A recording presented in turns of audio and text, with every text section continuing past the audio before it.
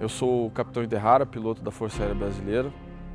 Eu sirvo no Grupo de Transporte Especial, é, sediado na Ala 1, em Brasília, Distrito Federal. É, eu ingressei no Grupo de Transporte Especial no início do ano de 2016 e na FAB no início do ano de 2000, na Escola Preparatória de Cadetes do Ar.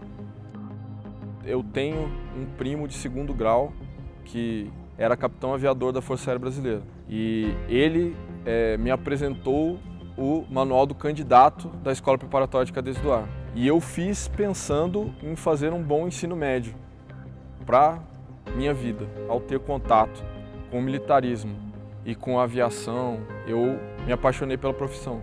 Depois da EPICAR, onde eu cursei o ensino médio durante três anos, eu fui para a Academia da Força Aérea em Pirassununga, o curso do, de formação de oficiais aviadores é de quatro anos.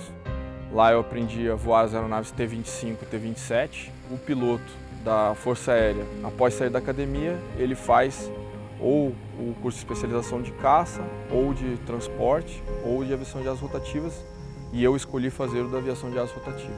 O piloto, acredito que tanto o militar quanto o civil, quando ele está voando, ele está se divertindo. Independente de ele estar fazendo uma missão é, séria, importante, complexa, ele, ele se sente feliz com o que está fazendo e, e é como se ele não estivesse vindo para trabalhar, estivesse vindo para se divertir.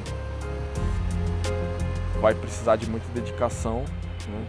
vai precisar estudar bastante. É uma carreira que é muito concorrida, né? os concursos, pra, tanto para a Escola Preparatória de Cadetes do Ar quanto para a Academia da Força Aérea, eles são bastante concorridos mas é uma carreira que é apaixonante.